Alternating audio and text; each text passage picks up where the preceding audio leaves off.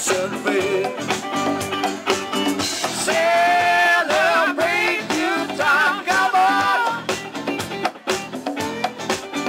There's a party going on.